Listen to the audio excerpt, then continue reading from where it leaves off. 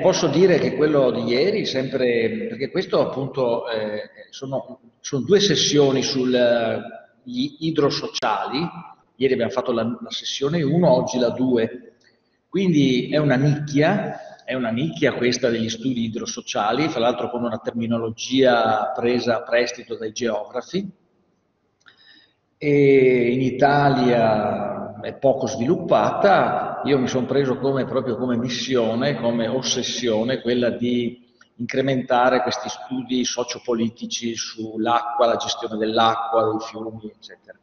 E quindi ho sollecitato anche un po' di colleghi e sono uscite due sessioni, devo dire, insomma, è già tanto per un, per un convegno nazionale come questo, Ovviamente ci sono sessioni, ad esempio quella sull'ecologia politica, è un tema molto vasto e molto generale e quindi hanno più, più partecipanti, insomma.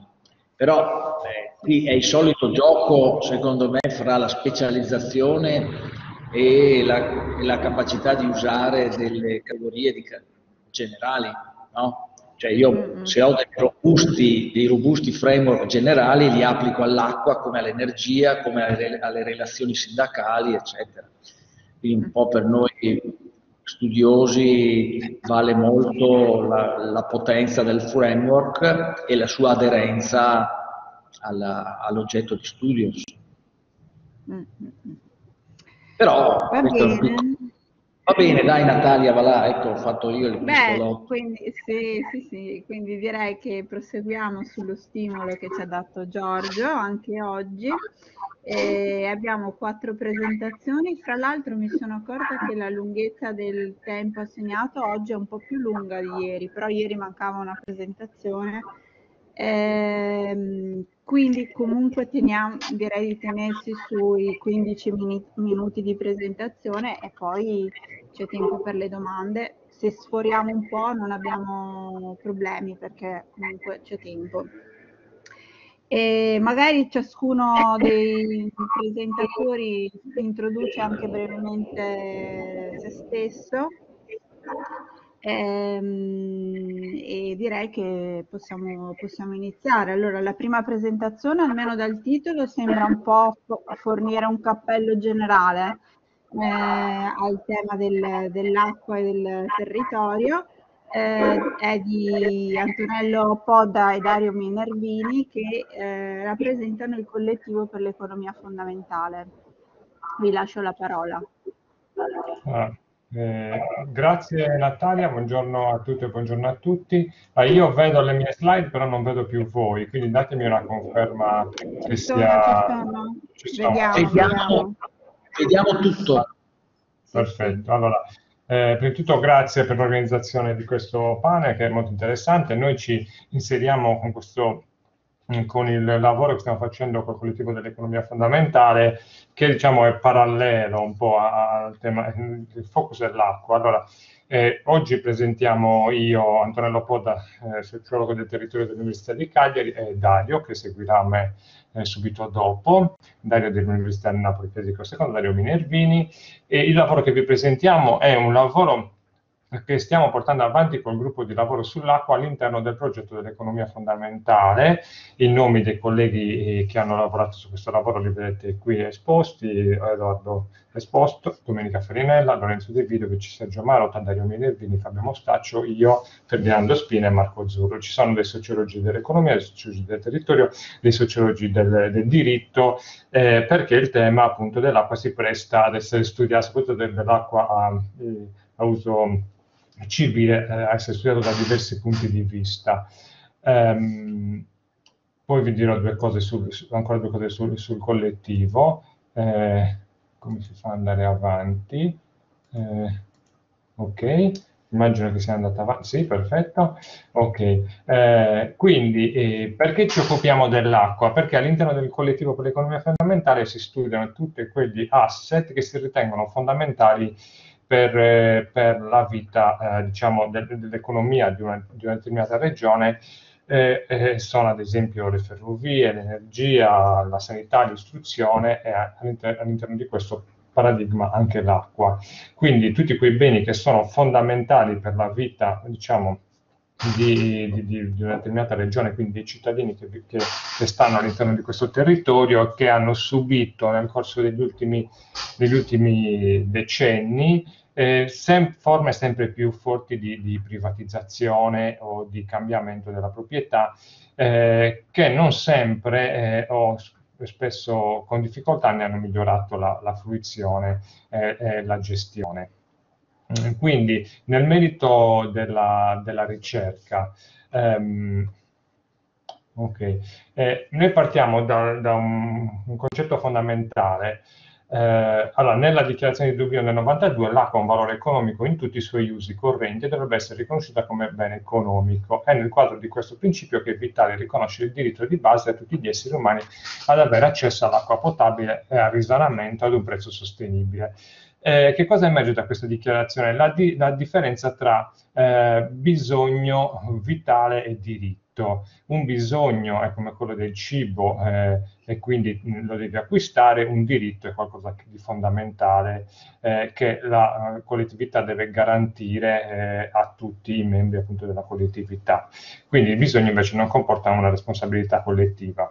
Questo discorso appunto è pregnante per, per, per l'acqua, perché l'acqua come sappiamo è un bene primario fondamentale e mh, quando noi parliamo di, di, economia fondamentale, parlando di acqua, parliamo della gestione dei sistemi idrici integrati. I sistemi idrici integrati sono tutte quelle, quelle strutture che ci consentono di, di, aprire il rubinetto di casa e avere l'acqua pulita, quindi il sistema di captazione, di, le, tutte le strutture che ci, ingegneristiche che ci fanno arrivare l'acqua a casa per, per poi parlare della depurazione. Eh, e quindi tutto questo sistema qui. Da chi è gestito questo sistema qui? Beh, sino a qualche decennio fa era gestito soprattutto a livello municipale, con delle forti differenze a livello, ad esempio, del territorio italiano.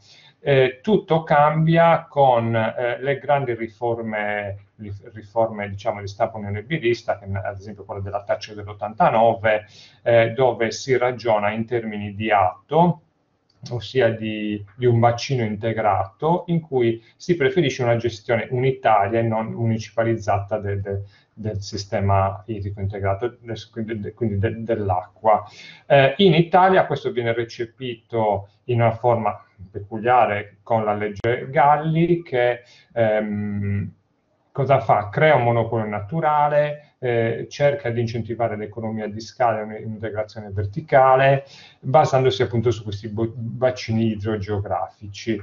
Eh, e eh, tutto viene, diciamo, prende forma a livello legislativo con il decreto Ronchi e con tutto quello che ne scaturisce dopo la nascita del Forum Italiano dei Movimenti per l'Acqua e mh, naturalmente l'esito del referendum che eh, eh, che bocciano queste, queste riforme che, eh, che, spingono eh, prima di tutto alla, alla costruzione di, di, di alla mh, privatizzazione de, del sistema in termini di in-house providing eh, per poi passare all'ingresso dei privati nel sistema di gestione dell'acqua.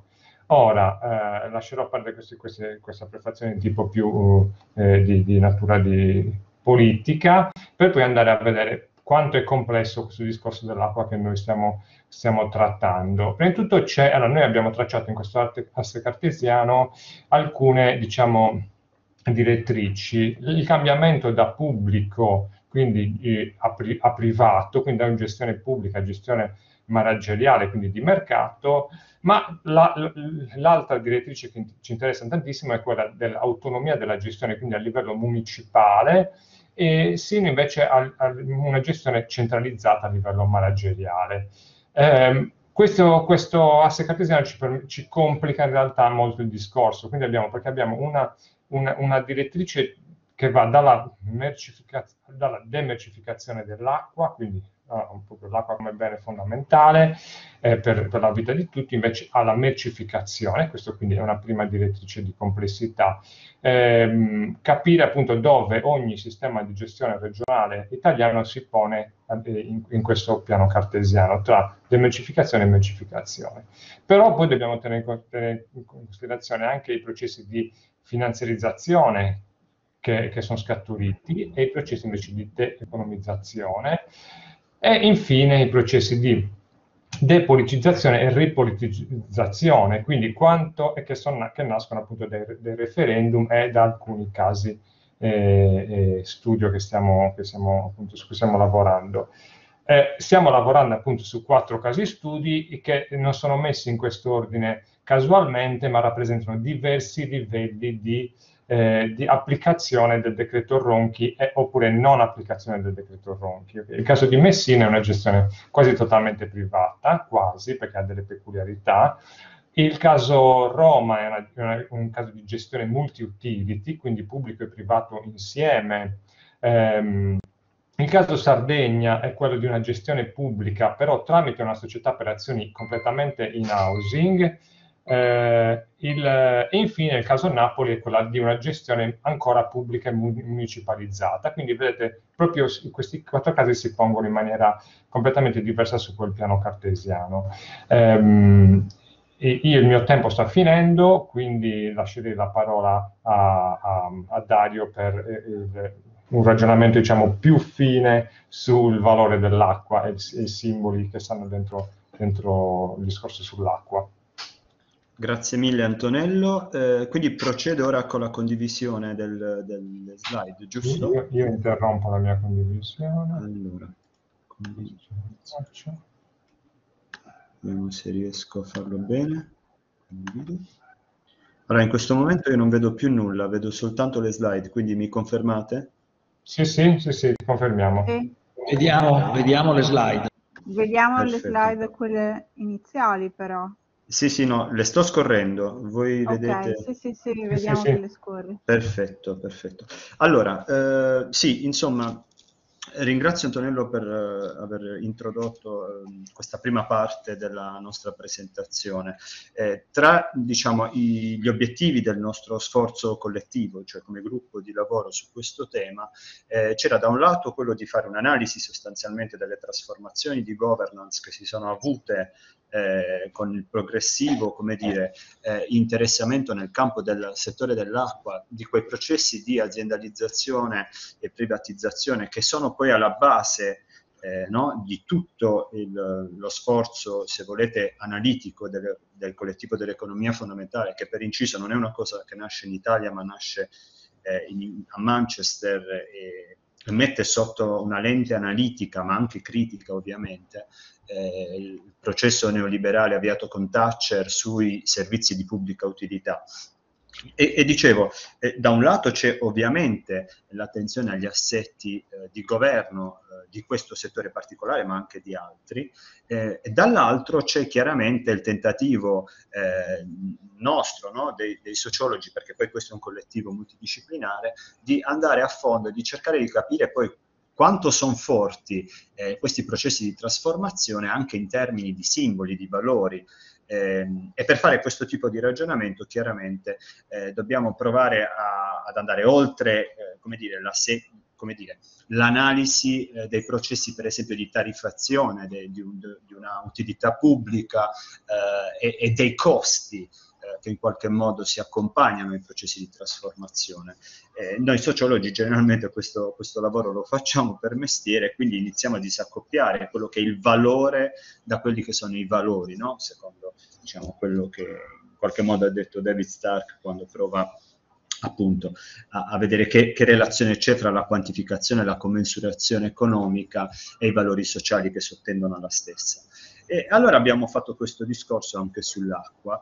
Eh, lo abbiamo fatto concentrandoci so, soprattutto su quelle traiettorie sociomateriali di valorizzazione, però attenzione, intesa in senso ampio, non soltanto economico, che riguardano sia l'acqua che potremmo definire di tutti, cioè quella che scorre negli acquedotti e che arriva ai rubinetti di casa, con un piccolo approfondimento su Messina, ma anche sull'acqua dei consumatori, no? quella che acquistiamo nei supermercati, nelle vending machine, ovunque, eh, che accoppia una, società, una sociomaterialità interessante, cioè quella dell'acqua e del PET. Potremmo pensare all'acqua e al petrolio, che sono entrambi estratti da cui si estrae valore, ma questa ora è, come dire, è un'immagine così. Eh, dunque, e in questo caso parleremo delle acque minerali, chiaramente. Ehm, allora, veniamo all'acqua di tutti. Eh, l'acqua di tutti eh, ha un aspetto fondamentale per quelli che studiano l'economia fondamentale, cioè data per scontata. Eh, in generale, tutti, tutte le utilità pubbliche che rientrano dentro quello che è il paniere dell'economia fondamentale, cioè quei beni e servizi che danno l'accesso sostanzialmente a una compiuta cittadinanza, eh, sono ehm, dati sostanzialmente per scontato. Perché? Perché sono organizzati secondo dicono i colleghi di Manchester, pipe and cables, cioè eh, strutture, eh, infrastrutture, perdonatemi, eh, sostanzialmente invisibili, eh, che eh, consentono a noi di accendere le luci, utilizzare eh, l'acqua, ma voglio dire anche l'istruz- l'istruzione pubblica, la scuola finché c'è, ecco, la pandemia ce lo ha dimostrato, finché c'è lì è, un, è uno stabile, ci sono dei bambini che entrano, vanno lì e, e quant'altro. Ci siamo resi conto con ehm, eh, la didattica a distanza, ad esempio, che quanto fosse importante avere una scuola, oppure ci rendiamo conto che l'acqua è una cosa importante quando per esempio c'è una crisi idrica. Vi parlo dalla Puglia e, e, e so di quello di, cui sto parlando. Allora, veniamo allora all'acqua di tutti e proviamo a fare questo esercizio analitico di, eh, dire, di, di scomposizione fra valori e valore eh, i colleghi che si sono occupati del caso di Messina ci hanno invitato a, a guardare come sostanzialmente nel dopoguerra eh, la logica sostanzialmente a Messina era quella di evitare sostanzialmente gli sprechi, quindi di considerare l'acqua un bene fondamentale, importante. Chiaramente qui parliamo di spazio rurale e il soggetto sono le famiglie per semplificare. È chiaro che non, non, questo discorso non vale solo per lo spazio rurale, però... Dario, eh, diciamo, hai tre minuti.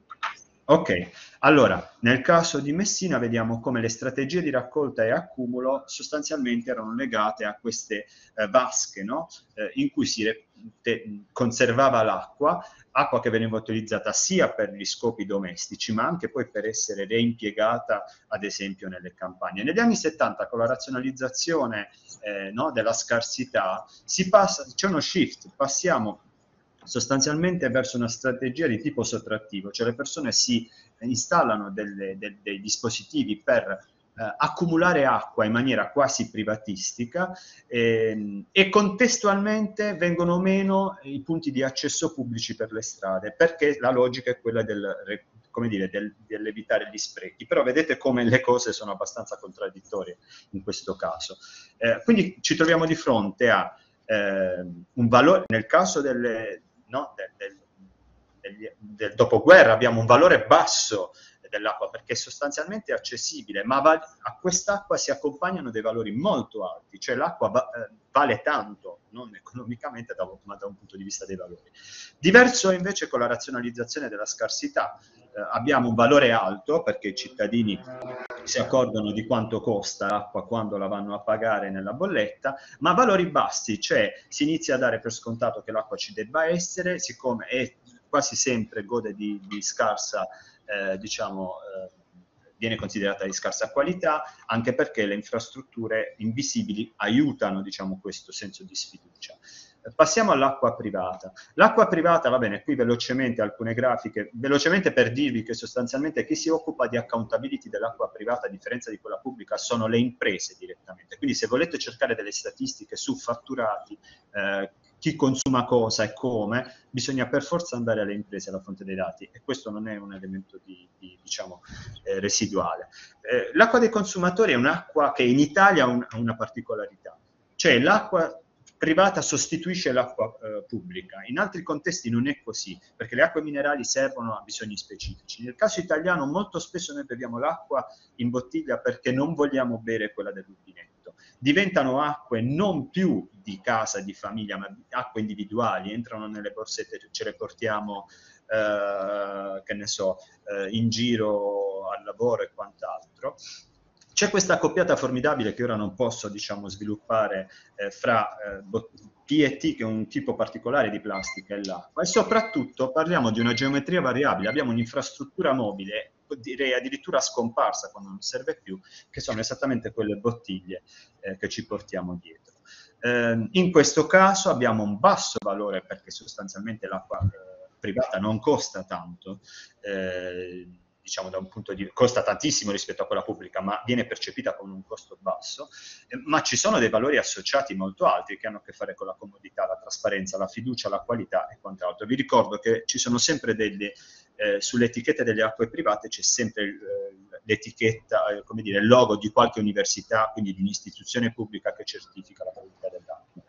Salto questo e lascio ad Antonello. Devi concludere. Sì, sì, sì Antonello, vai.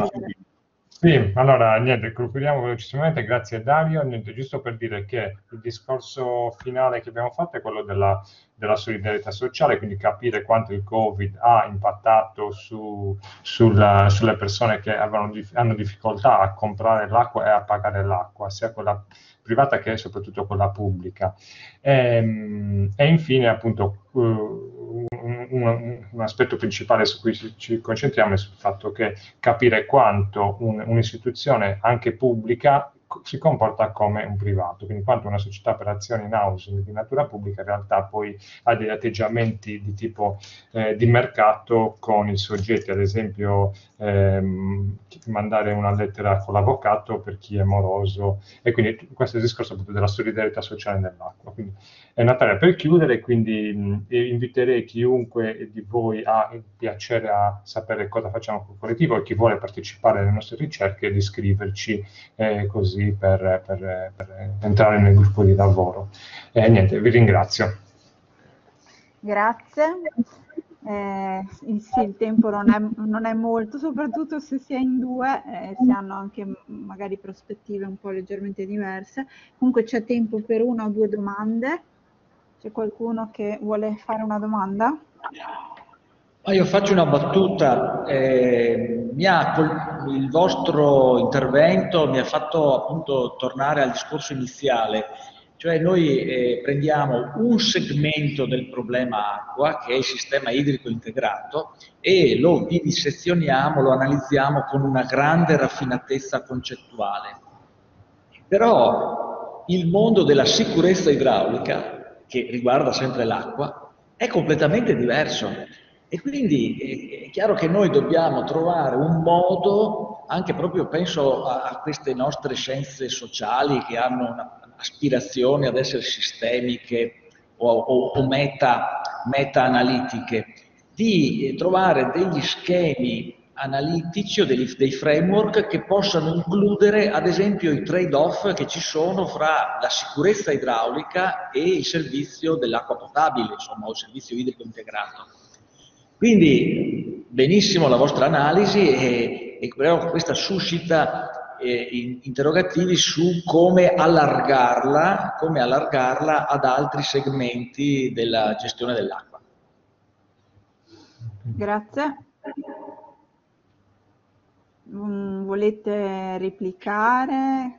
Io se posso un, un rapidissimo intervento eh, di, parte, di, parte, perché faccio, faccio parte del, il collettivo per l'economia fondamentale, mi occupo in realtà di rendita urbana. Mm, ringrazio tantissimo il, il, i colleghi che hanno fatto questa presentazione e mi sembra che abbiano in qualche modo risposto in maniera molto efficace a quello che diceva eh, Giorgio all'inizio, cioè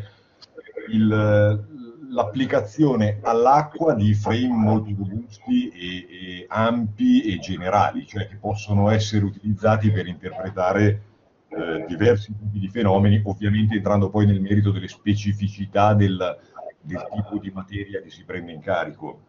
Nel senso che io di nuovo nella presentazione che hanno fatto sull'acqua ho trovato eh, meccanismi che funzionano eh, più o meno sic et simpliciter dentro nell'estrazione di rendita urbana di, del, di, di, di, suolo o su altri fenomeni di cui il collettivo per l'economia fondamentale si, si, fa carico di indagare, per cui mi pare che, che sia proprio in quella direzione che va dall'intervento che abbiamo sentito. Eh, l'ho trovato molto interessante sul piano analitico eh, della robustezza generale, per cui vi ringrazio moltissimo.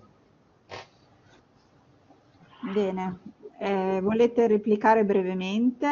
In realtà sono più commenti che domande. Sì, no, se, se, posso velocemente, allora, il discorso, eh, ringrazio eh, Giorgio, eh, ehm, Ah, vi ho messo, eh, vi ho messo lì un, un, articolo di una giovane... Vero, forse la... già iniziato. Sì. Ti ringrazio. Il, sì, giusto per dire che il, il, il, ragionamento è molto complesso, è, mh, è quello dell'economia fondamentale e si presta anche a, a, a, bisogna avere la lucidità di comprendere anche caso per caso a livello eh, regionale o subregionale di, eh, di, di, degli effetti che hanno avuto questi, questi processi che sono molto diversi fra di loro.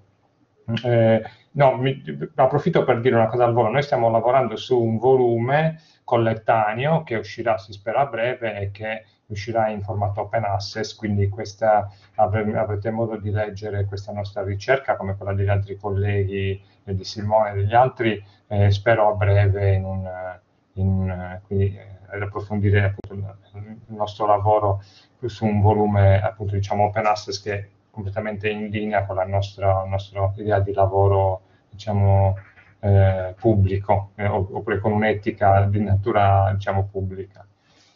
Grazie. Dario, Grazie. non so se... Eh, sì, la questione della sicurezza idrica è fondamentale, così come lo è eh, rispetto a tanti altri settori. Eh, concordo con Giorgio il fatto che vada in qualche modo inclusa dentro i nostri ragionamenti, però io penso che, come dire, la, la linea argomentativa che abbiamo utilizzato, che si utilizza nell'economia fondamentale, sia, abbia proprio al centro il tema della sicurezza idrica. E il tema della sicurezza idrica è inevitabilmente connesso al mandato sociale che le utilità, le utilità pubbliche hanno o meglio che gli attori che gestiscono le attività pubbliche hanno. Quel mandato è l'equità sostanzialmente, il fatto che ci sia, alla fine Antonello aveva preparato un discorso sulla solidarietà sociale che purtroppo non possiamo fare, ma gli attori che vengono chiamati a gestire acqua, rifiuti, energia e quant'altro eh, hanno questo obiettivo se vogliamo mantenere l'economia fondamentale come infrastruttura della vita quotidiana. E questo è un fatto politico, è un fatto puramente politico, ecco perché il collettivo dell'economia fondamentale diciamo, è un po', tra virgolette, ambiguo scientificamente, perché si porta dietro un portato ideologico, non mi vergogno, spero che nessuno si vergogni a usare questa parola, che è quello di valutare che cosa significa assicurare eh, l'infrastruttura della vita quotidiana ai cittadini, a tutti, più che ai cittadini, perché poi anche il concetto di cittadinanza può diventare escludente. Quindi eh, assolutamente d'accordo con Giorgio, lo legherei al discorso delle, dei fenomeni di finanziarizzazione che hanno interessato eh, diverse utilità pubbliche. Va bene, grazie. Dobbiamo passare alla prossima presentazione di Caterina Marinetti. Eh, se riesci a condividere eh, le slide. Eh, si vedono. Eh... Ecco, sì, sì. Perfetto. Ma magari ci dici qualcosa anche di te? Certo, grazie mille, grazie Natalia e grazie anche ai eh, colleghi del collettivo che hanno presentato, davvero molto interessante, credo si ricolleghi molto bene anche con la presentazione insomma, che sto per fare sia sulla governanza delle risorse idriche che su un framework inter e transdisciplinare per l'educazione um, eh, alle risorse idriche. Allora, io eh, buongiorno a tutti, innanzitutto a tutte e anche ai colleghi eh, collegati da remoto. E faccio i miei saluti dalla città dell'Aia già in stagione piena autunnale. E per fare una breve presentazione sono Caterina Marinetti e lavoro come Scientific Project Manager per il progetto New Wave, del quale a breve vi parlerò, e presso la Free University di Amsterdam eh, all'Istituto di Studi Ambientali e il Dipartimento di Politiche Ambientali, dal quale da poco ho iniziato il mio eh, dottorato. E nella presentazione di oggi, dopo una breve introduzione di New Wave, vorrei proporre una riflessione sull'educazione per la sostenibilità, in particolare l'educazione terziaria, quindi parliamo di educazione universitaria, e quindi presentare i primi risultati del nostro progetto in tale contesto e, e presentare dei prossimi passi. Allora, cos'è New Wave? New Wave è una rete di formazione innovativa finanziata dal programma europeo Horizon 2020 e nello specifico una Marie Curie eh, ehm, Action ehm, che supporta lo sviluppo della carriera e della formazione di giovani ricercatori, dove per giovani si intende con meno di quattro anni di esperienza in ricerca, con un focus sulle capacità innovative attraverso la mobilitazione fra settori e anche internazionale. Come eh, potete vedere anche dalla mappa, nostro, l'ampiezza del progetto è molto internazionale e New Wave offre a 15 ricercatori eh, la possibilità di svolgere il proprio dottorato. Eh, nello specifico del nostro progetto presso 10 enti di ricerca e non, in collaborazione con altri partner del progetto. A destra sono eh, elencati i tag, quindi diciamo i titoli chiave dei 15 eh, progetti che potete trovare in dettaglio nel nostro sito. E però visto che stiamo parlando di sociologia dello sviluppo ci tenevo eh, in particolare a mostrare gli attori del nostro network e a mandare i miei cari saluti a tutti i colleghi e colleghe che si impegnano sia nella formazione che nella ricerca. E questo è uno screenshot che abbiamo preso durante una sessione virtuale e con un po' di creatività e diciamo immaginazione potete vedere la nuova onda della water governance eh, rappresentata. Ognuno di loro, come dicevo, fa parte di eh, diversi beneficiari e in collaborazione con altri eh, partner e presto altri in aggiunta.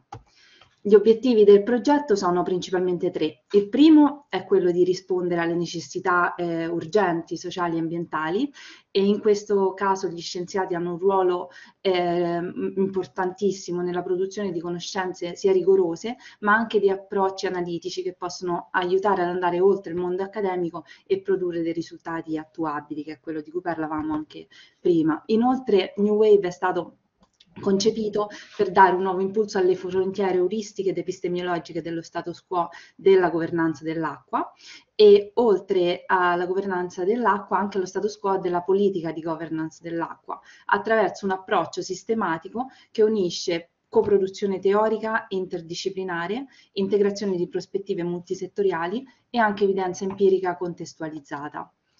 Qui entriamo nel cuore della presentazione. Allora, perché abbiamo bisogno di un progetto come New Wave, ma soprattutto perché abbiamo bisogno di integrare in un progetto di investigazione accademica e nel campo dell'educazione? Le crescenti crisi idrosociali, come ben sappiamo e stiamo vedendo durante questa conferenza, richiedono una maggiore capacità di riflettere cr criticamente sul nostro percorso di sviluppo e, e per affrontare le sfide socioambientali in tutta la loro complessità. Quindi in questo ambito l'istruzione superiore svolge un ruolo eh, chiave nel contesto della transizione sociale per uno sviluppo sostenibile. Il progetto New Wave offre in questo caso una preziosa opportunità per implementare modi alternativi di, in, eh, di apprendimento e anche di formare una nuova leadership che può influenzare le azioni sia di oggi, perché comunque le persone che si laureeranno adesso in un programma di dottorato saranno i primi ad entrare nel mondo del lavoro, ma anche per portare delle, delle transizioni a lungo termine. Analizzando il ruolo dell'educazione eh, per una transizione sostenibile, Siber nel 2009 ha analizzato dei diversi, dei diversi percorsi verso la sostenibilità attraverso l'istruzione superiore, dove ha messo in luce che gli approcci che si sono basati esclusivamente sul cambiamento del comportamento, e lui faceva riferimento a quello dei consumatori in questo caso, non hanno avuto un successo perché gli individui avevano bisogno di accesso alle informazioni, ma anche eh, quindi scientifiche affidabili e comprensibili, quindi il ruolo anche dello scienziato di produrre informazioni rigorose, ma anche delle competenze e delle risorse per per eh, attuare e diciamo, applicare tali informazioni nel proprio processo decisionale. Come abbiamo visto l'istruzione tradizionale si è mostrata eh, non sufficiente per far fronte alle sfide della sostenibilità e in questo caso l'istruzione superiore eh, per l'appunto in particolare ha un ruolo centrale per sviluppare le capacità dei laureati e dare priorità alle azioni dopo aver bilanciato i costi e i benefici sociali, ambientali ed economiche, per poi entrare nel mondo del lavoro, del lavoro sia al governo come all'industria che nelle comunità. A questo proposito vorrei introdurre il discorso di educazione per eh, lo sviluppo, allo sviluppo sostenibile. L'UNESCO ha introdotto tale concetto già dalle prime conferenze sull'ambiente e lo sviluppo anni, dalla fine degli anni Ottanta. L'educazione allo sviluppo sostenibile è definita come l'educazione che consente agli studenti di acquisire non solo le conoscenze, ma anche l'abilità, i valori, le attitudini per, e le attitudini per prendere delle decisioni informate e intraprendere delle azioni responsabili per l'integrità ambientale in particolare, la sostenibilità economica ed anche una società giusta. La domanda che sorge spontanea e ovviamente di cui si sono occupati molti ricercatori eh, sono, sono, molte, quindi per esempio di quale educazione stiamo parlando, di quale educazione abbiamo bisogno oggi, qual è lo scopo dell'istruzione nell'attuale contesto di trasformazione della società, come dovrebbe essere organizzato l'apprendimento.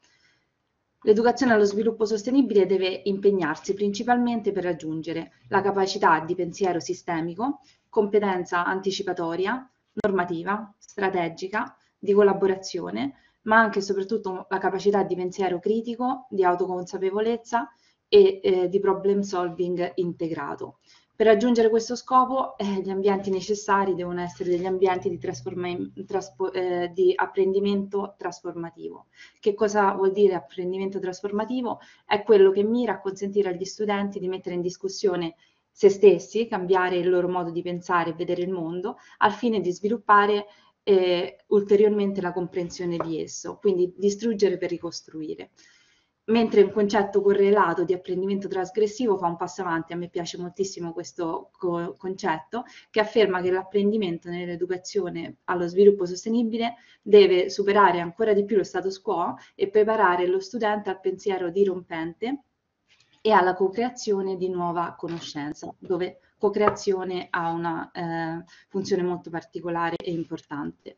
Ma come realizziamo il cambiamento? Beh, quello che vediamo dalla letteratura è, è, soprattutto una rassegna, una review di una letteratura sulle attività educative e di apprendimento per lo sviluppo sostenibile, pubblicata da Algoren quest'anno, eh, mette in luce che eh, l'educazione alla sostenibilità ambientale è un approccio ancora relativamente nuovo e il concetto e i principi adesso connesso non sono ancora ben implementati nell'istruzione superiore. Questo ci riconduce al nostro progetto in campo di risorse idriche, ma ancora di più in campo della governanza delle risorse idriche. Ortigara e colleghi hanno pubblicato uno studio che indaga sul contributo dell'istruzione e della formazione nel raggiungimento dell'obiettivo numero 6 eh, dello sviluppo sostenibile, che è quello che si occupa, che, che vede garantita a tutti la disponibilità e la gestione sostenibile dell'acqua e delle strutture igienico-sanitarie. E secondo loro eh, abbiamo bisogno di gruppi di ricerca integrati, compresi scienziati, sociali e naturali, che interagiscono continuamente con gli stakeholders, quindi con le parti interessate, e ciò potrebbe migliorare significativamente le possibilità di ricerca per raggiungere i principali beneficiari delle risorse idriche.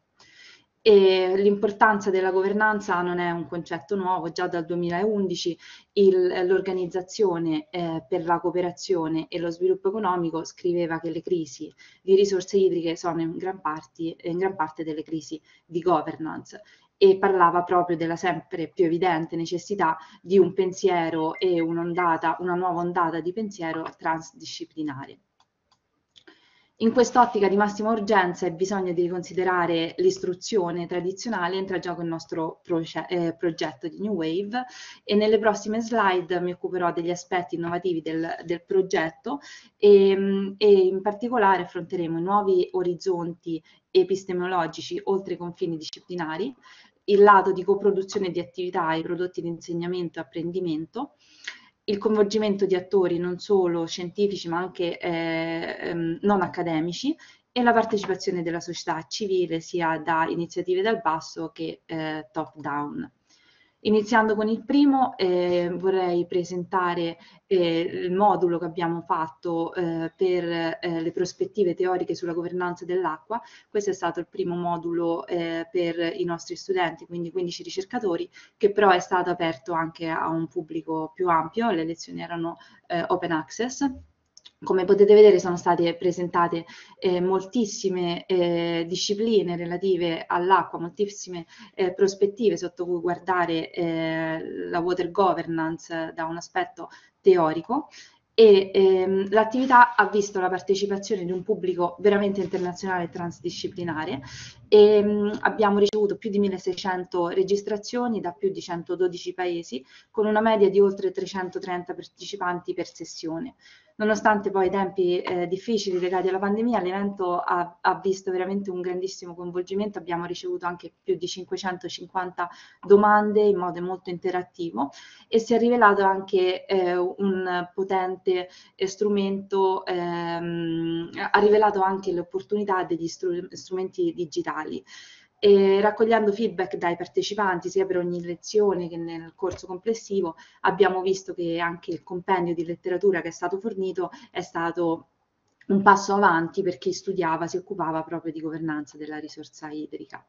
Per quanto riguarda la coproduzione di attività e i prodotti di insegnamento, qui potete vedere elencate delle varie attività che abbiamo fatto, in particolare la prima che riguarda, ha riguardato una formazione intensiva a supporto dello sviluppo delle proposte di ricerca dei dottorandi, um, interessato dei meccanismi di coproduzione e co-learning, dove i ragazzi si sono eh, cimentati proprio nell'organizzazione del, dello stesso training, mettendo in luce i loro bisogni, cosa avevano bisogno di imparare, coproducendo le attività e eh, gestendo le attività di, ehm, di, di, training e di apprendimento insieme con i loro tutor e con eh, gli speakers che venivano invitati. Dopo questo abbiamo fatto... Hai tre minuti. Perfetto, grazie. Abbiamo fatto anche dei vari seminari di coproduzione e anche altre attività dove si sono eh, mh, eh, dove hanno interagito moltissimo. Quindi qua ho messo questa immagine lavorare con ma non eh, per.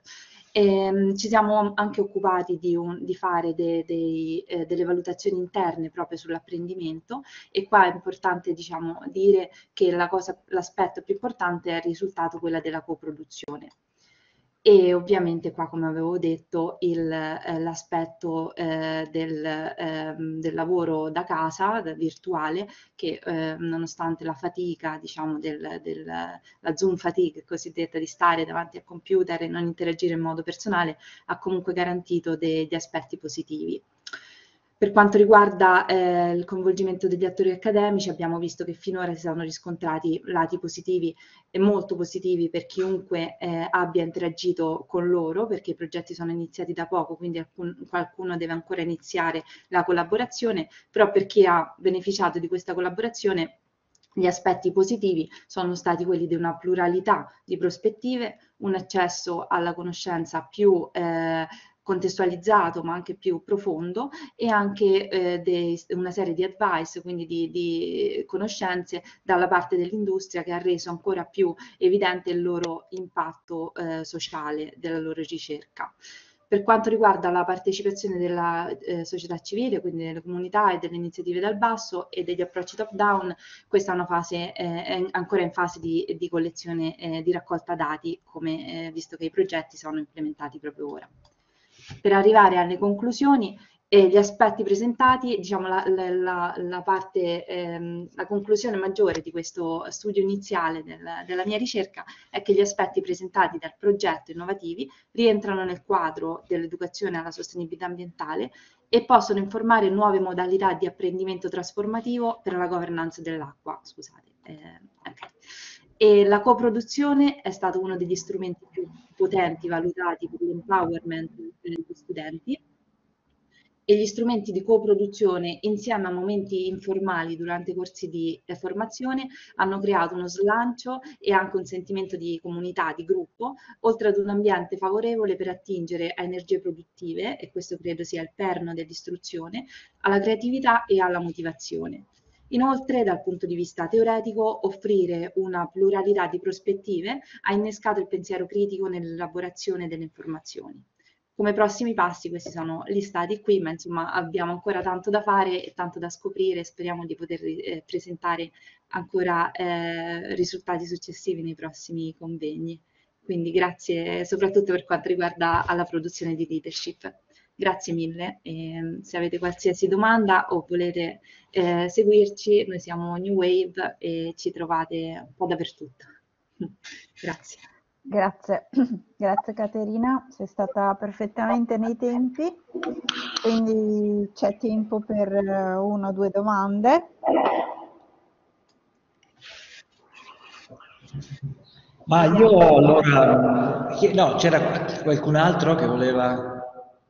No, no, vai, non vedo nessun altro. Allora, eh, grazie Caterina, finché parlavi mi veniva in mente, sai, è un po' un vizio o un tic dei sociologi quella di fare, eh, di fare diciamo, l'analisi di quello che viene, l'analisi critica di quello che viene presentato.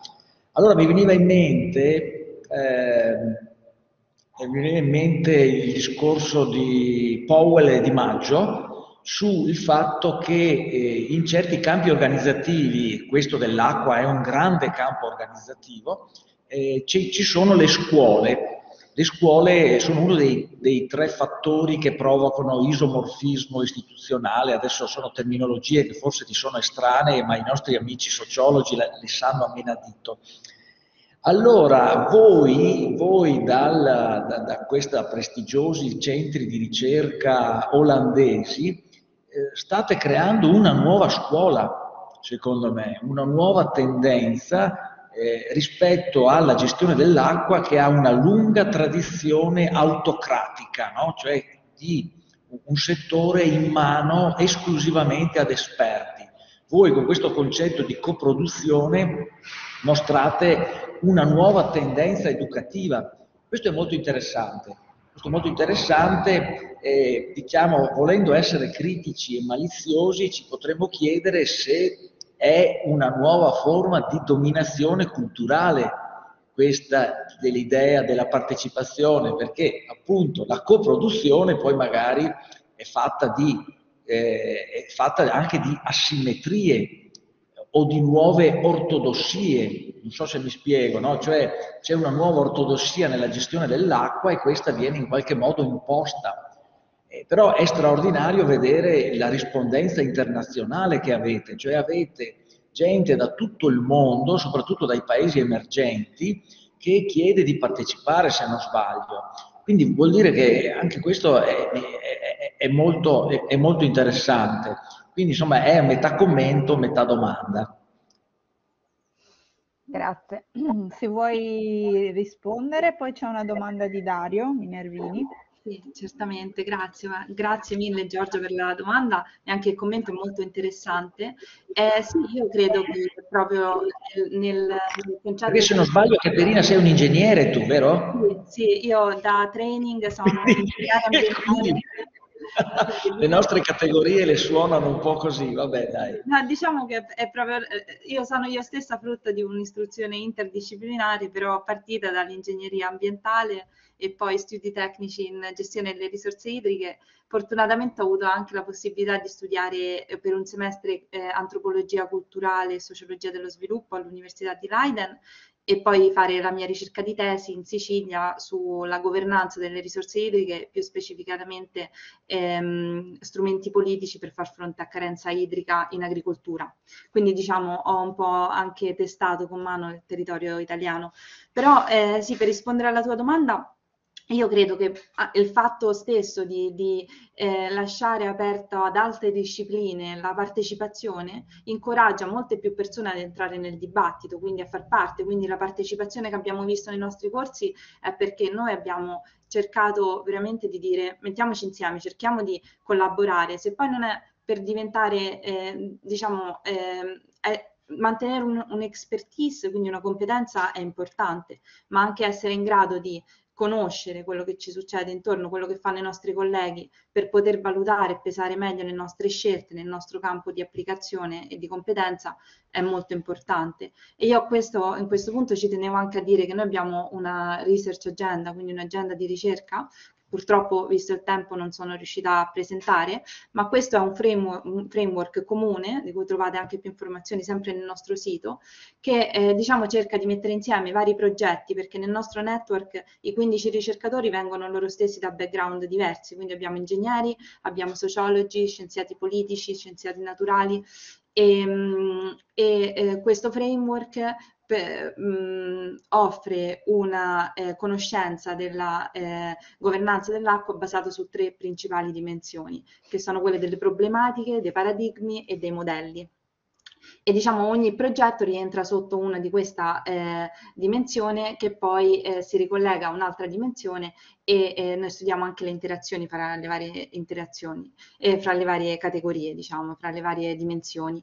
Quindi eh, eh, questo framework ci permette di lavorare in modo coerente pur mantenendo la diversità epistemologica e di discipline e garantire la transdisciplinarità. Quindi diciamo anche questo sì potrebbe essere un modello, noi speriamo di poter avanzare un modello proprio eh, un framework che possa essere applicato e eh, eh, replicato eh, sarebbe ciò che ci auspichiamo, qualora provasse a essere di, di, di successo.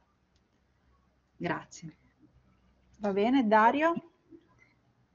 Aveva una domanda? Due, sì, sì. Allora, ehm, prima, il primo è un commento, cioè sento di ribadire quello che ha detto Giorgio sulla nuova egemonia culturale che in qualche modo sta eh, no, prendendo eh, questi settori ed è un'egemonia nella quale però io vedo una, come dire, le istituzioni farsi sempre più evanescenti, cioè c'è un grande, un grande si chiama all'appello un pochino tutti gli attori e gli stakeholder, anzi, perché li chiamano così, e le istituzioni però che iniziano a diluirsi in tutto questo. Mi chiedo la responsabilità pubblica poi che fine faccia in questi processi, però è un discorso generale, non riguarda il progetto in particolare. Mentre rispetto al progetto in particolare mi interessa moltissimo il tema della trans o interdisciplinarietà, eh, perché è una di quelle cose che in tutti i documenti di policy ormai sono continuamente ribaditi e auspicati, ma che è una cosa maledettamente difficile da praticare. Noi dopo faremo un'altra presentazione sull'energia e un progetto progetto eh, Horizon che riguardava proprio questo, cioè i fabbisogni formativi eh, della transizione energetica in quel caso. Bene, il tema della transdisciplinarietà non è un tema, diciamo, nel...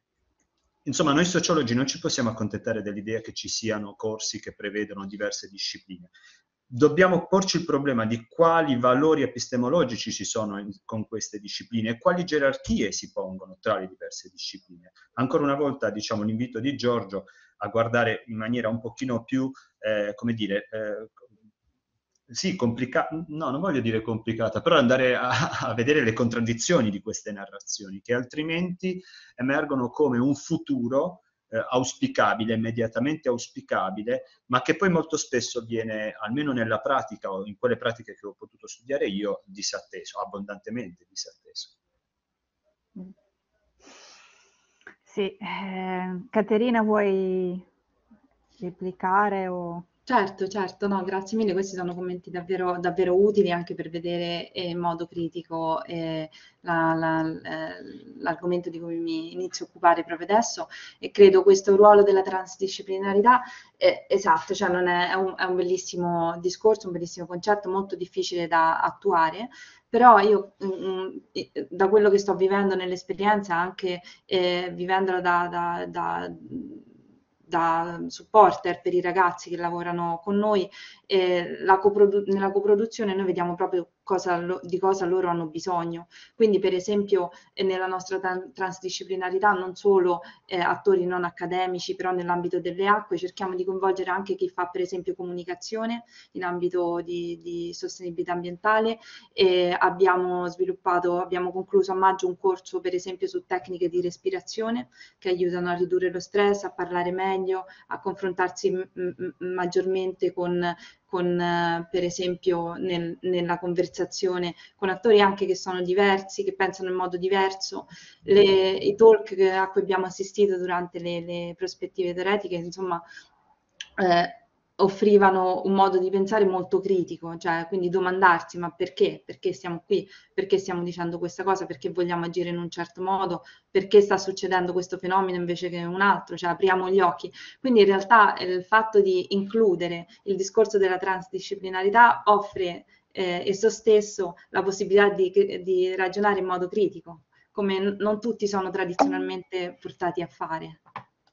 E, ehm, ci vediamo però sono commenti molto molto interessanti, ho preso nota e sicuramente approf- approfondirò e qualora volete ecco, inviare o entrare in contatto, inviarmi anche dei, dei documenti, sarò felicissima insomma di, di, leggere tutto quanto. Grazie. Se vinco posti, delle borse di dottorato ve li mando tutti, ve li mando tutti. A fare il corso di respirazione. Se vinco però, se vinco. Però io credo anche che la parte di comunicazione e disseminazione svolgerà un ruolo molto fondamentale nel progetto. Infatti abbiamo, abbiamo eh, in programma di sviluppare un documentario, eh, una serie di podcast, quindi per cercare di raggiungere veramente di sfruttare al massimo questa transdisciplinarità. Va bene, grazie mille. Allora dobbiamo passare alla prossima presentazione che è di Simone Tosi, il fiume Olona. Eccomi qua. Allora, grazie mille, buongiorno a tutti, io sono Simone Tosi, sono del lavoro al Dipartimento di Sociologia e Ricerca Sociale della, di Milano Bicocca. Eh, ho provato a articolare diversamente il titolo rispetto al secco Il fiume Olona che era scappato dentro il programma, ma va bene così, retoriche, conflitti e politiche intorno al fiume Olona.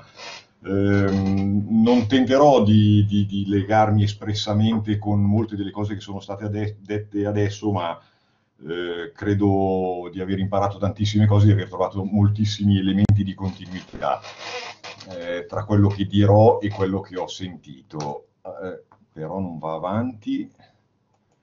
Ecco. ecco.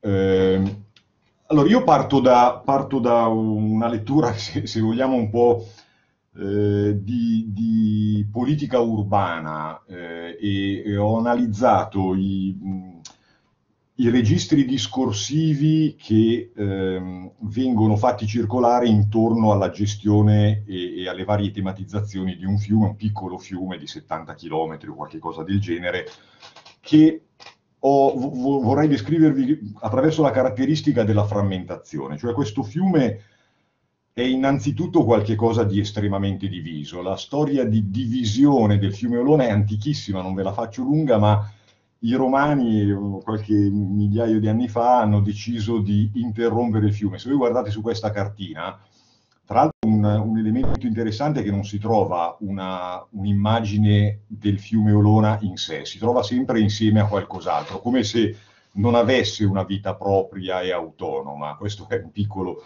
dato etnografico di ricerca. Allora, se voi guardate in questa cartina che io vi sto proiettando, Vedete che gli Olona sono due, ce n'è uno che parte lassù da Varese e arriva fino a Milano, in realtà sotto Pero entra dentro nella città di Milano, poi si interrompe, sotto più, più a sud trovate il fiume Olona meridionale. Allora questo in realtà all'inizio del Novecento hanno scoperto che si tratta dello stesso fiume ma che era stato interrotto dai romani, avevano deciso di troncarlo più o meno sotto Ro, di portarlo dentro Milano perché gli serviva acqua e a quel punto sono diventati due fiumi separati, sono rimasti separati, nessuno si era neanche reso conto che fossero idrograficamente la stessa cosa e questo è un primo segnale storico di un fiume che è diviso, è diviso proprio fisicamente. Ma poi il, il fiume Olona è tante cose perché eh, viene trattato dentro frame completamente, ampiamente separati, che ovviamente talvolta si toccano, qualche volta si incrociano, ma che hanno la caratteristica della separatezza come, come tratto che ho individuato. Allora, da una parte c'è un discorso che eh, viene fatto intorno al fiume Olona nel suo primo tratto, che è un tratto di un fiume scosceso eh, che scava la, la, terra, che scava la roccia, ehm, è, è, è, la valle, è la, la valle dell'Olona, che è una cosa completamente separata dall'Olona di pianura, cioè dall'Olona che eh, parte diciamo da Castellanza, qui vedete diciamo Rescaldina, ecco, per quello che riguarda la, la lì. Allora, sono due cose diverse, hanno due caratteristiche, fisi- hanno caratteristiche fisiche differenti, vengono trattati e gestiti da attori differenti, anche se poi c'è un consorzio, come vi dirò tra poco, che tenta di unificarli, e sono, sono due ambienti completamente separati.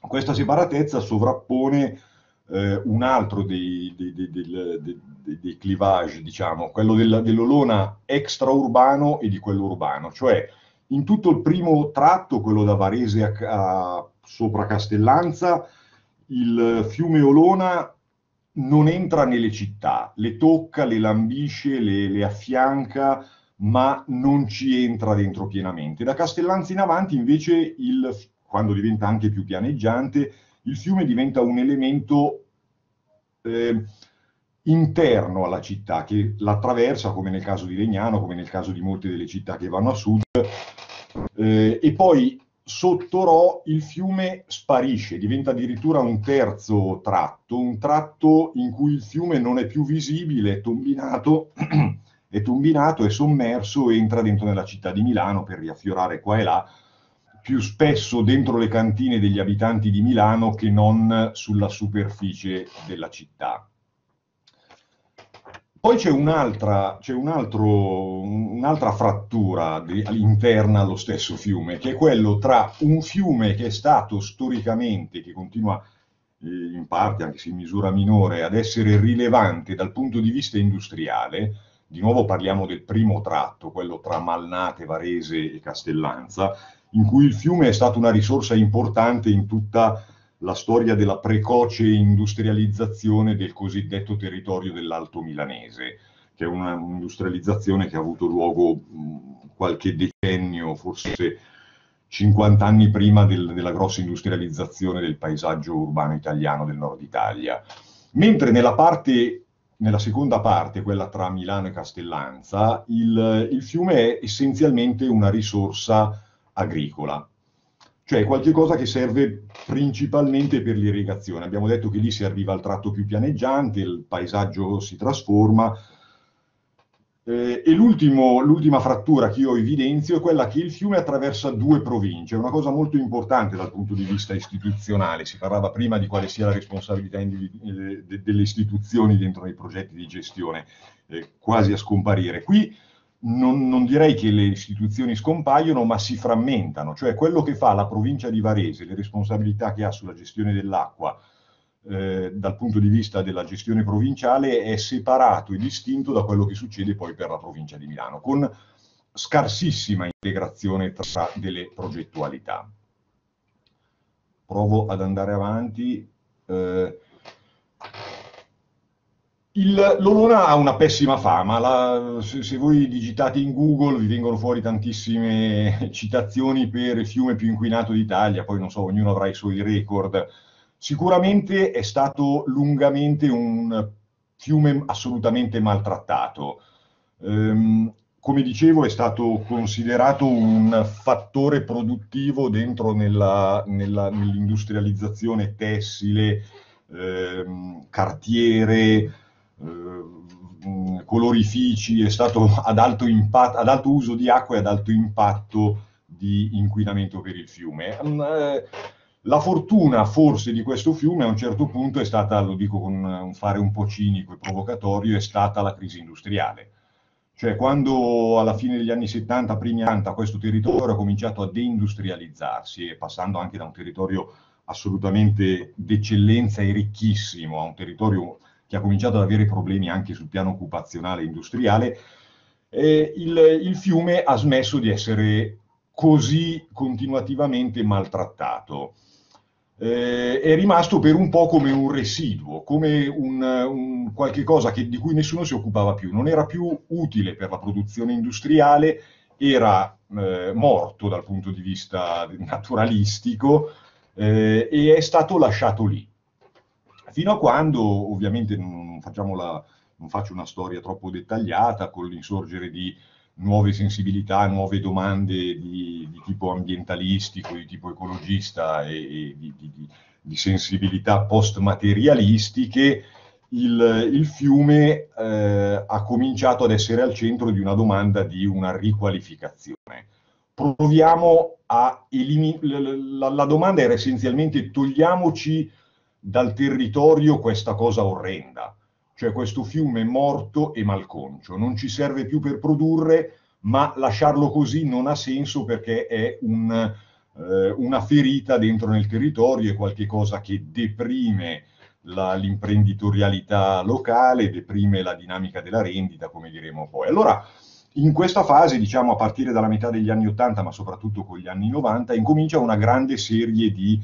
Eh, intraprese di riqualificazione del fiume. Il, eh, il fiume Olona è, è, uno dei fiumi che sta al centro del primo contratto di fiume italiano. Entrano eh, in gioco una serie molto variegata e differenziata di attori, enti locali innanzitutto, prevalentemente comuni, il consorzio del fiume Olona che aveva una lunga storia di gestione delle acque, era un consorzio molto antico ma che a questo punto diventa un attore centrale nei processi di rigenerazione e riqualificazione del fiume e del territorio circostante, il distretto agricolo del fiume Lona, la, l'ente per le foreste e l'agricoltura regionale, l'agenzia dell'ambiente, eccetera.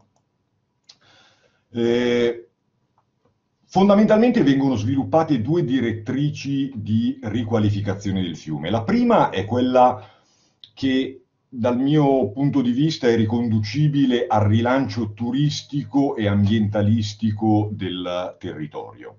Cioè viene, il fiume diventa un ingrediente centrale molto importante in un tentativo di rilanciare il territorio, che a quel punto è abbandonato dall'industria e quindi ha problemi di ricollocazione dentro nel, nel, nel tessuto economico globale, eh, il fiume diventa una risorsa intorno a cui si provano a sviluppare nuove direttrici di sviluppo. Eh, viene riqualificato sul piano, si, si, incominciano progetti di riqualificazione sul piano ambientale, si intraprendono progetti di formazione molto più piccoli, molto più locali di quello di cui ci, ha, ci hanno appena raccontato, eh, e viene fondamentalmente inquadrato dentro un frame ricreativo. Cioè il Parco del Mediolona, che vedete che è il titolo di questa slide, diventa, è, è un po' in qualche modo il, l'archetipo di questo spazio ehm, retorico di riqualificazione. Terri- facciamo sì che ci sia un territorio che diventa un parco periurbano, utile per i residenti, ma che possa avere anche capacità di attrattività per un pubblico turisticamente più, più distante, più ampio, e che possa essere inserito dentro nelle reti globali, per esempio cicloturistiche, di passeggiate a cavallo, di archeologia industriale, eccetera. Allora, il primo frame tipicamente di sviluppo del territorio postmoderno e post-industriale è quello che ammicca e, e, e occhieggia alla, alla riqualificazione, al rilancio turistico anche sul piano della redditività economica. Il secondo frame lo troviamo leggermente più a sud, il Parco del Mediolona sta ancora nella parte valliva fiume, di, di, di, valle di fiume, cioè quello del, del, dove ci sono i paesi che si chiamano tutti Olona, ma in realtà il fiume non entra nelle città, Olgiate Olona, Solbiate Olona, eccetera, eccetera, eccetera. Il secondo frame lo troviamo, ve, ve lo racconto attraverso la città di Legnano, che è leggermente più a sud ed è già nella provincia di Milano, e invece eh, il frame di un trattamento del fiume nel, nel quadro di un, lo, lo, dico un po' dispregiativamente, di un orpello urbano, di qualche cosa che messo al centro di una grossa riqualificazione urbana può essere prodotto in termini di dinamica della rendita. È quello che viene fatto nella grande riqualificazione che a partire dalla metà degli anni Ottanta coinvolge il centro storico di Legnano. Legnano era una città molto eh, ricca di industrie, ha un grandissimo cotonificio che si chiama Cantoni, proprio nel centro della città perché era la, una delle attività principe della, di, di, dell'economia cittadina. Sì, grazie. Ehm, viene fatta una grandissima riqualificazione, 108.000 metri quadri di fondamentalmente un quartiere gentrificato con espulsione di fasce deboli, eccetera, eccetera. In questa riqualificazione il fiume Olona diventa un ingrediente cardine, cioè diventa qualcosa che viene riscoperto perché lì era, era sommerso, cioè era, era coperto dal, dal, dal, dal, cemento e dalle fabbriche, viene riportato in superficie, viene, eh, vengono ricostruiti degli argini e viene eh, costruito una, una, sorta di ecogent- diventa l'elemento di una sorta di ecogentrification è un ingrediente che voi trovate in tutte le brochure di vendita dei 400, dei 400 appartamenti di mercato Gentry che noi troviamo nella riqualificazione della Cantoni. Eh, che, cosa, che cosa, si può dedurre, portandoci su un piano teorico in maniera molto breve perché sono stato eccessivamente lungo? Eh, tutti gli attori che dalla fine degli anni Ottanta riprendono in considerazione il fiume dentro in una loro progettualità, dal mio punto di vista e per le interviste e le analisi di documenti che abbiamo svolto, continuano a eh, utilizzare delle retoriche assolutamente parziali e che pochissimo dialogano tra di loro. Ci sono una serie di attori, direi mh, rigidamente o saldamente arroccati alle loro visioni e rappresentazioni parziali del fiume. In genere queste rappresentazioni e queste visioni dipendono da saperi tecnici. Per esempio un grossissimo conflitto è quello che c'è tra eh, gli ambientalisti hard, direi, eh, che si occupano del fiume Olona e i promotori di un Olona turistizzato. I primi vorrebbero che nessun essere umano mettesse piede nel parco del Mediolona, perché impediscono la proliferazione di specie vegetali o la nidificazione di particolari tipi di uccelli migratori e quindi l'uomo va tenuto assolutamente distante. Eh, naturalmente dal punto di vista dei sostenitori dell'ipotesi turistica questa cosa non è praticabile. Non ci sono attualmente spazi di composizione efficace delle diverse rappresentazioni e retoriche che continuano ad essere distinte del fiume. C'è un'eccezione, cioè la regione Lombardia, soprattutto l'ERSA, eh, attraverso anche la sua partecipazione ai contratti di fiume, alle varie iniziative, è probabilmente l'attore che maggiormente si sta facendo carico di un tentativo di messa a sistema e di interlocuzione di quell'interdisciplinarietà eh, di approcci che è necessaria per trattare il, eh, il fiume. Ehm, una, una, piccola, un'ultima nota, la polverizzazione amministrativa evidentemente non gioca a favore, soltanto la regione appunto riesce un pochino a fare da cappello che diventa all inclusive rispetto, che, che prova ad essere all inclusive rispetto ai trattamenti. Un ultimo, eh, un'ultima nota un po' negativa, forse eccessivamente, trovo che ci sia una certa continuità tra il modo con, in cui il fiume Olona nel, dall'Ottocento in avanti è stato trattato come un fattore nella produzione di un territorio, esattamente, esattamente come, una, come una, un macchinario, come un ingrediente della produzione, e ehm, la, la, la, la, forte permanenza del frame economico che continua ad essere quello che caratterizza la gestione del fiume. Cioè i territori che sono interessati al, al lancio, all'utilizzo turistico per un rilancio del territorio del fiume ne fanno sostanzialmente una questione di finanziamento del territorio, cioè di, di, di capacità di attrarre risorse economiche nello stesso modo nei territori urbani, come dimostra la riqualificazione della, della Cantoni, il um, fiume Olona è un, un, fattore produttivo dentro nella antica um, dinamica della rendita. Posso concludere così? Sì, sì. Direi grazie. Grazie. grazie. Grazie per questa affascinante storia di fiume eh, che si inserisce appunto all'interno del, delle storie che abbiamo sentito anche ieri, eh, riprendendone alcuni elementi interessanti. C'è qualche domanda?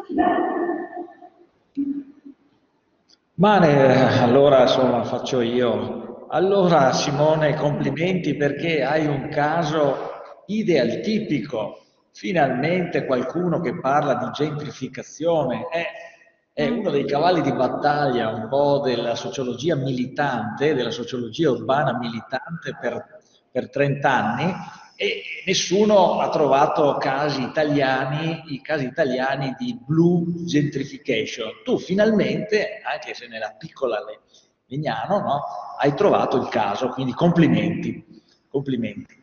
Eh, forse però anche tu hai un bias urbano, infatti hai parlato a lungo della frammentazione, ma la parte finale di questo fiume, che mi pare scorra in aperta zona agricola, è, è un po' trascurata nella tua analisi.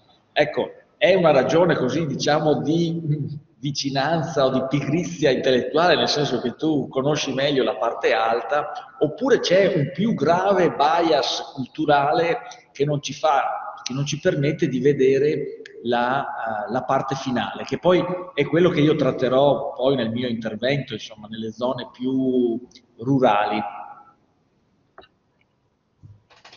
Eh, beh, la pigrizia è uno delle, delle, dei miei vizi maggiori e, e, la prossimità non è solo intellettuale ma è anche geografica, dato che io abito a Busto Arsizio, cioè nella parte in cui la Valle Olona finisce. Quindi è, è vero eh, che, che eh, ho parlato di quello che conosco meglio, ma ehm, è, è anche più al centro del dibattito nel senso che il, il pezzo di pianura è più tradizionalmente regolato, nel senso che lì l'uso è prevalentemente agricolo e l'antico consorzio del fiume Olona, che da centinaia di anni si occupa di gestire la, le acque per uso irriguo, ha in qualche modo mantenuto una sua agency e una sua egemonia sulla gestione delle acque lì, senza grossi elementi di rottura.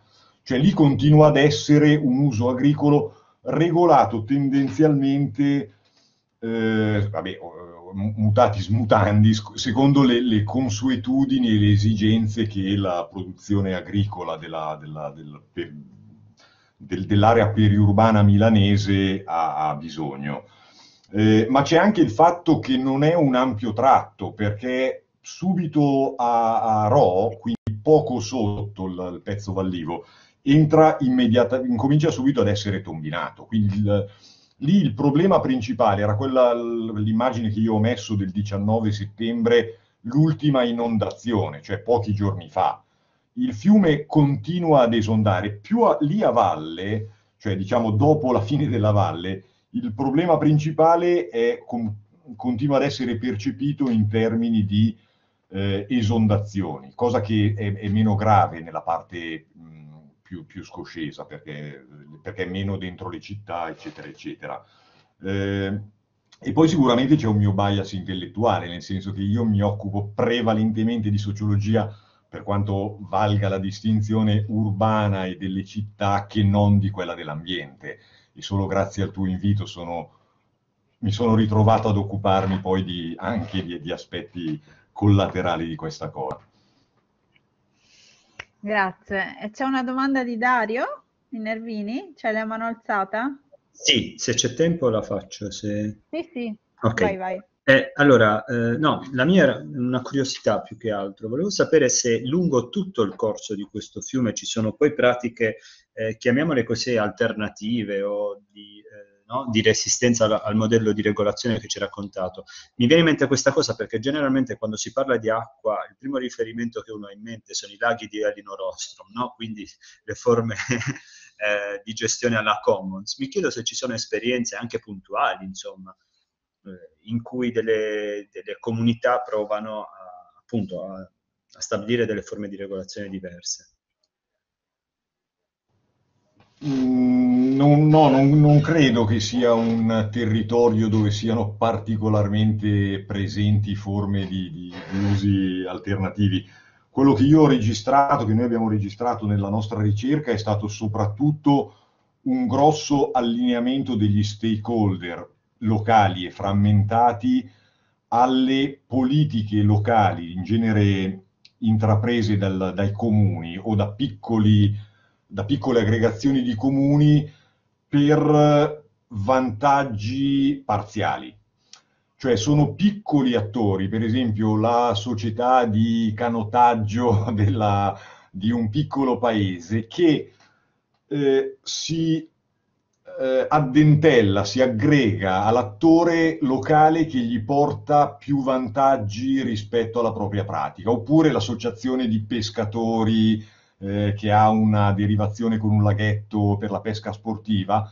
Allora, le forme di aggregazione sono molto, ma magari sono esagerato nella mia critica al territorio in cui abito, però sono molto strumentali, cioè sono molto eh, finalizzate a portare a casa van vantaggi di breve periodo aggregandosi agli attori maggiormente in grado di fornire vantaggi sono un po' ingeneroso, ho una visione un pochino cinica, però quando parlavo di frammentazione, di mancanza di visione di insieme, è proprio che non emergono voci eh, che rimettano in discussione un, un, nuovo framing, pur con gli allineamenti dai frame precedenti, eccetera, eccetera, del fiume.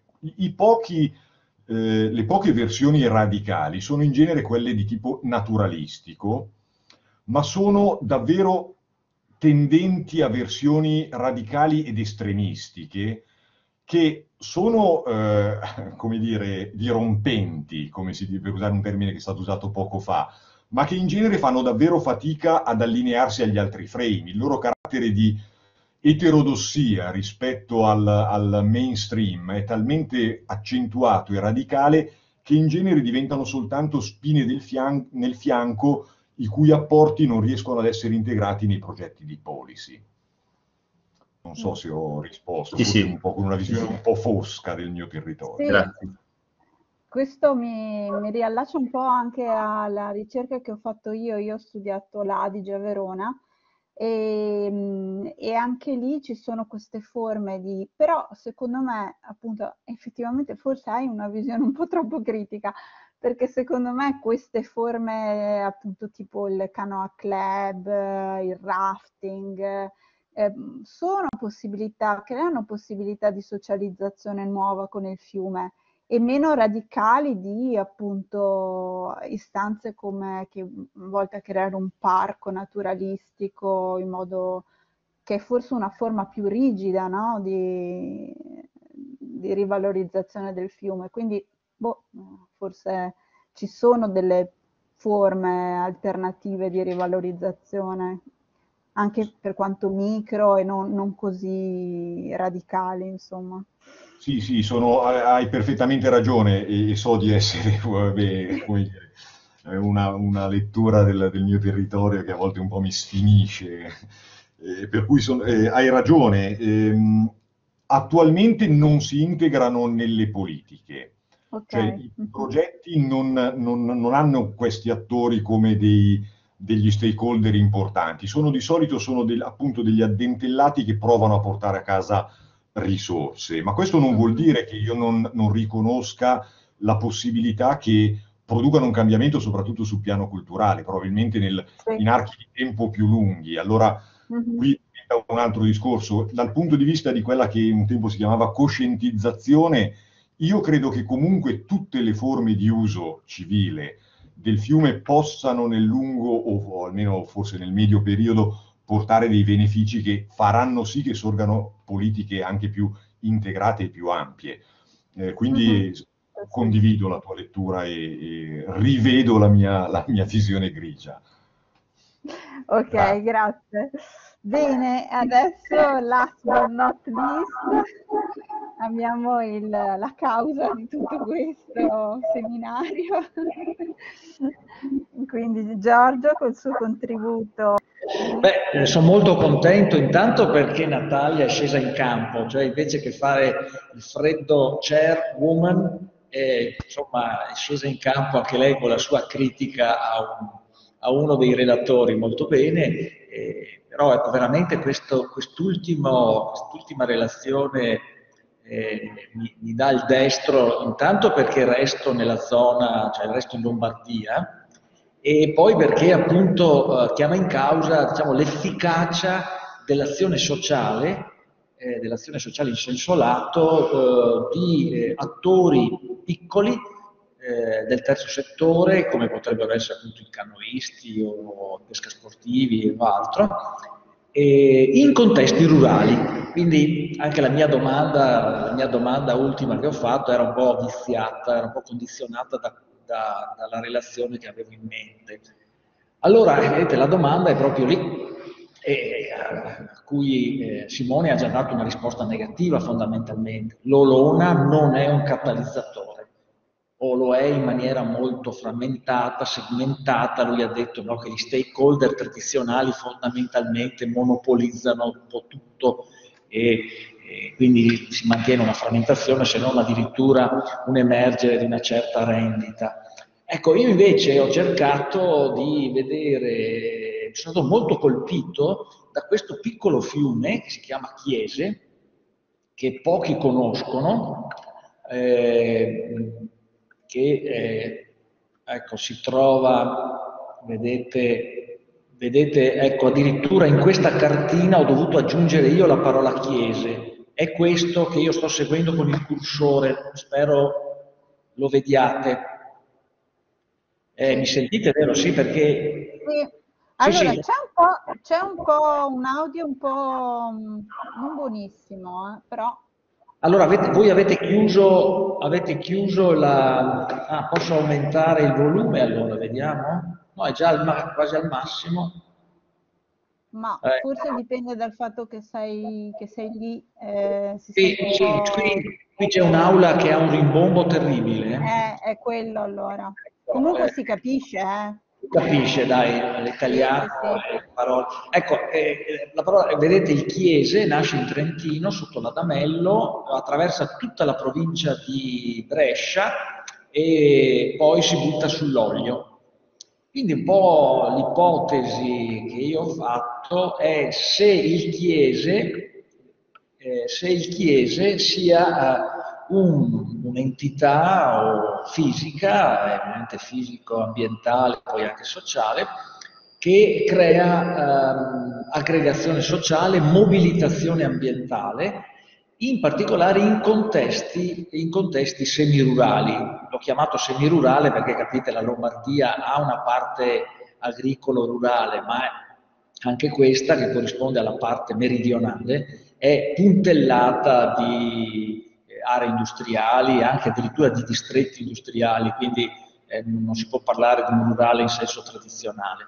Però l'idea è quella tradizionale che appunto per richiamarci alla dicotomia urbano-rurale, nelle campagne la mobilitazione, la protesta, la coscientizzazione, tutte queste cose che, no, che riguardano un po' i movimenti ambientalisti, siano di bassa intensità, perché prevalga un localismo eh, anche nella protesta, oppure delle forme irrazionali di protesta, il cosiddetto ribellismo rurale. Comunque ecco appunto questo è il motivo, il motivo dal quale sono partito, vedete la zona, eh, parliamo della pianura sud-orientale o della pianura orientale tout della Lombardia, è una zona grosso modo che va appunto eh, dall'olio eh, dal fiume Olio fino al Mincio. Questi sono sempre i fiumi. Eh, qual è, ecco, vabbè, vi ho già detto appunto i caratteri, eh, alcuni caratteri territoriali, questa pianura ha diverse pressioni ambientali molto forti che sono tutto il percolamento degli inquinanti della zona centrale, molto industrializzata e molto urbanizzata, eh, ha molte discariche, ha molti allevamenti intensivi di bovini e suini, eh, discariche, infrastrutture, eccetera. Eh, l'idea, di fondo, l'idea di fondo è quella di vedere, ehm, vabbè, dopo, dopo, dopo, vediamo, insomma, comunque la, la, scintilla è stata il fatto che intorno al chiese è nato un tavolo delle associazioni che amano il fiume Chiese e il suo lago Tigro. Ha un nome lunghissimo questo tavolo, ma lo merita, perché in effetti è una cosa inedita. Infatti quando ho saputo, ho avuto notizia di questo, eh, di questo, della formazione di questo tavolo, che raccoglie associazioni, sono 19 adesso attualmente, che raccoglie associazioni dal Trentino fino alla provincia di Mantova, è quindi addirittura interregionale, è una cosa inedita. inedita. E, fra l'altro è un fiume appunto eh, che, che, è fuori dal radar perché pochissimi anche in provincia di, eh, in provincia di, di, di, Brescia, anche se appunto se, cioè, solo i geografi conoscono questo fiume e ovviamente gli abitanti. Gli abitanti. Allora, eh, l'idea qual era? Era quella di vedere se, eh, confrontando con, con, gli altri fiumi, vedete la, la, pianura lombarda è ricchissima, avete visto l'Olona, ma appunto lì nella zona di Brescia ne scendono ben quattro, che sono eh, l'Olio, il Nella, appunto il Chiese e poi il Mincio, quindi sono zone di una ricchezza straordinaria d'acqua, ecco quando noi ci confrontiamo a livello internazionale con altri paesi, la pianura padana è qualcosa di incredibilmente, si parla di materasso d'acqua. Eh, allora, l'idea è quella di, intanto io ho fatto una rassegna che adesso certamente è impossibile, è impossibile qui eh, sintetizzare, però vedete ho cercato diversi approcci, eh, diversi approcci con la, loro, con la loro chiave di lettura, il loro elemento base, eh, l'evento catalizzatore, questa è un po' la, la, novità, se volete, analitica che ho scovato in alcuni autori americani, e appunto eh, l'azione collettiva che invece fa, molto, fa parte di di, questa, di una grandissima tradizione, direi, delle scienze sociali, che è spiegare le ragioni dell'azione collettiva. Ovviamente questo, eh, questi sono, è una ricostruzione che io ho fatto per capire qual è, quale può essere l'apporto eh, di diversi approcci alla, alla spiegazione della mobilitazione socioambientale o dell'azione collettiva in campo ambientale e in campo fluviale nel senso stretto. Vedete che dopo ogni approccio, non parliamo di teorie ma appunto di approcci, eh, ha i suoi, anche i suoi limiti e quindi. Poi eh, tentato di fare una sintesi, come vi ho detto, l'elemento di novità che per certi aspetti è, è teoricamente banale, qui ho, ho, in stanza con me, sto attento a come parlo, perché ho in stanza con me il professor Luigi Pelizzoni, che insomma di queste cose se ne intende, e vedete, questa è l'idea de, de, de, del vento eh, catalizzatore. No? Cioè, I fiumi sono dei catalizzatori della protesta, dell'azione collettiva, della mobilitazione, della costruzione di nuovi scenari sociali, umani, ecco. E, e quindi questa idea del catalizzatore, dell'evento però, quindi di qualcosa di molto contingente. Ehm, quindi prendendo questa idea di evento catalizzatore e un po' questi approcci che vi ho detto, nasce questo framework che io vorrei applicare al caso eh, dei fiumi della pianura orientale lombarda. Ecco, ho preso, vedete, insomma, uno schema che ha delle frecce a doppio senso, nel senso che appunto prima si parlava di coproduzione, eccetera, è evidente che i fenomeni sono ricorsivi e spesso circolari e quindi questo in sociologia va molto bene, però ci crea anche qualche problema poi nella, eh, nel ricostruire la linearità la, la processualità, no? perché se poi è tutto circolare non si sa mai da che parte iniziare. Comunque, insomma, queste sono eh, il framework, no? anche qui sorvolo, perché poi alcune cose per voi, credo, o per chi studia i movimenti ambientalisti sono molto, molto comuni. Ecco, veniamo invece al punto, al punto focale. Allora, come capire se la, la, mobilitazione intorno al Chiese è qualcosa di estemporaneo, qualcosa di eccezionale, qualcosa di casuale, o se invece ha delle, dei fattori strutturali che la, la, la possano spiegare. Eh, perché poi si parte da un'ipotesi zero, da un'ipotesi iniziale che queste aree rurali non abbiano mobilitazione e tutto sommato anche la, la l'intervento di, di, Simone precedente ha un po' confermato questo cliché, no? lui ha detto sono un po' queste associazioni dei, cercafondi, ecco, no? adesso banalizzo ma il senso che voleva dare, poi eh, Natalia un po' eh, corretto ha detto no, potrebbero avere dei potenziali di cambiamento.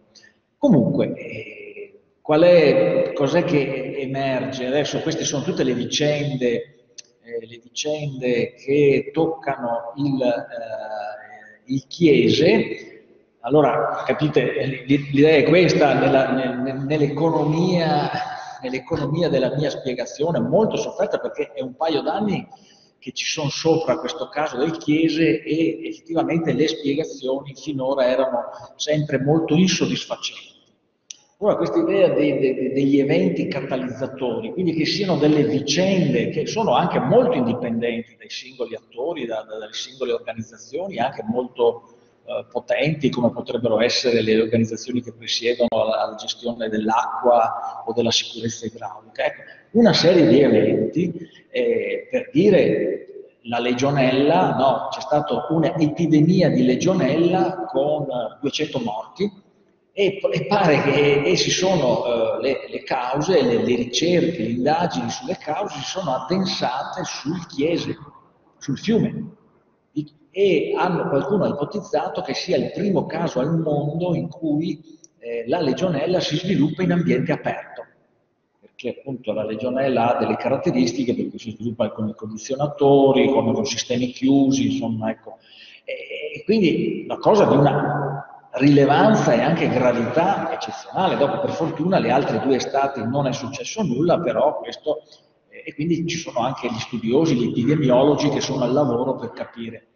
E, e questo è un evento, insomma, un evento, eh, evidentemente avrà le sue cause, però la, la, la ricollegarlo con, con, altri fattori è molto, molto difficile. Ecco, eh, dopodiché c'è eh, quello che ha scatenato o rafforzato la mobilitazione lungo il Chiese, è questa idea balsana, scusate la terminologia, ma balsana di eh, eh far confluire le acque nere, le acque fognarie eh, del Garda, del Basso Garda bresciano, nel bacino del, del Chiese, costruendovi, portandole dentro, no, portandole nel bacino del Chiese con delle condotte e costruendo i depuratori nel bacino del Chiese.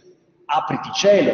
Questi dicono, ma scusate, espressione che non è proprio educata, eh, perché volete portarci la vostra merda da noi? Ecco, tenetevela voi secondo il principio, no? che bisogna che ognuno eh, trovi le soluzioni ai problemi ambientali in casa.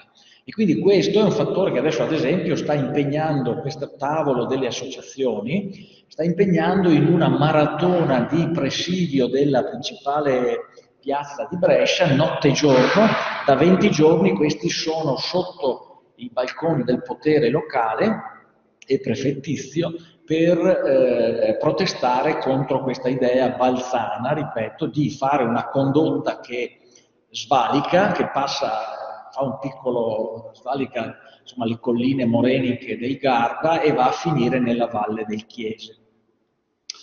Uh, ecco, allora, eh, cosa è successo? Io... Sì, eh, sto finendo, credo, sì. Eh, dunque, negli altri tre fiumi non ci sono casi di questo tipo. Cioè, fra, fra l'altro forse è un caso addirittura nazionale questo, di queste associazioni che eh, riescono ad unirsi nel nome del fiume, nel nome della salute del fiume, e negli altri tre fiumi che sono molto simili per struttura, uno un po' più lungo, uno un po' più... Eh, ecco, questo, questo, tipo di eh, mobilitazione non esiste. Addirittura l'ipotesi è che il fatto che, ad esempio, eh, ci siano dei parchi naturali funzioni al contrario, cioè eh, l'istituzionalizzazione della protezione della natura produce eh, un depotenziamento della protesta, mentre lì non ci sono né contratti di fiume né parchi naturali e questo probabilmente eh, non dà nessun sbocco alla eh, a, a delle esigenze, a dei bisogni che, di, di, locali e quindi li porta alla protesta. Infatti sapete che tradizionalmente la protesta, la mobilitazione avviene quando le istituzioni non recepiscono delle domande che vengono dalla base. Eh, vedete qui ci sono state delle proteste anche proprio di popolo, di vedete, bambini, famiglie ecco, che protestano su questa.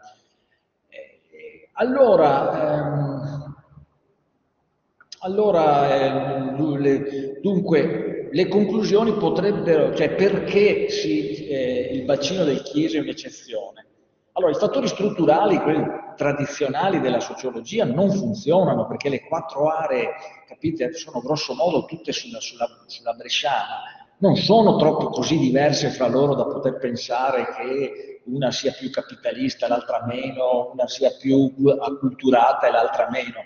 E quindi prende corpo, prende ala l'idea che questi eventi, eventi eh, più o meno casuali, abbiano prodotto, abbiano prodotto una, una, mobilitazione.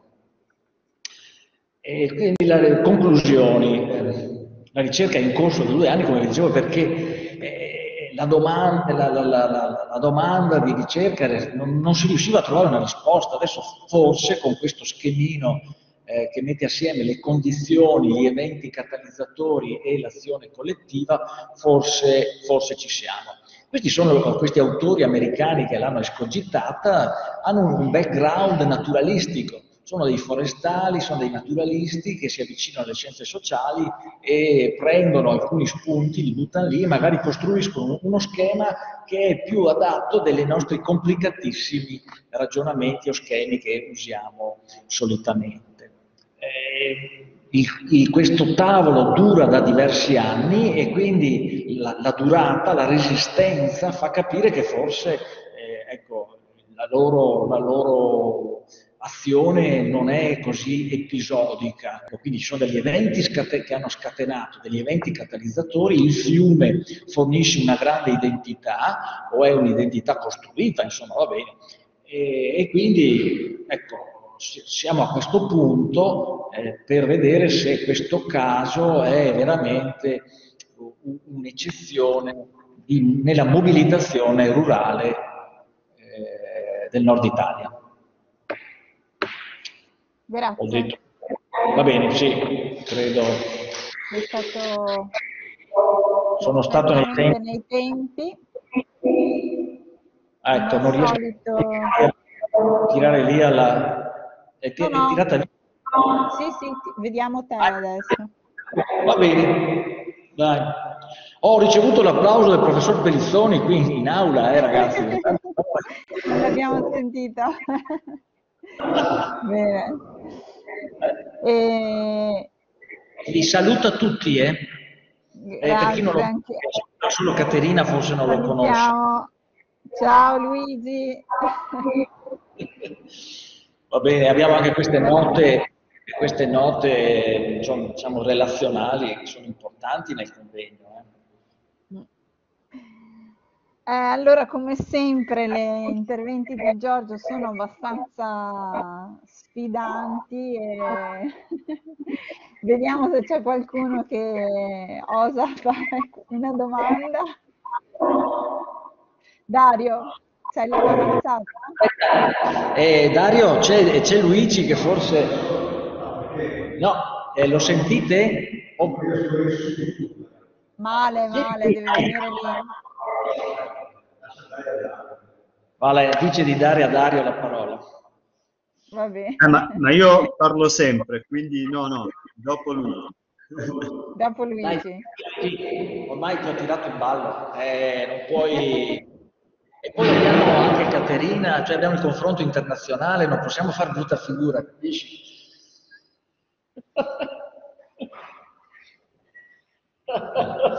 Ciao a tutti. Ciao. Era semplicemente per...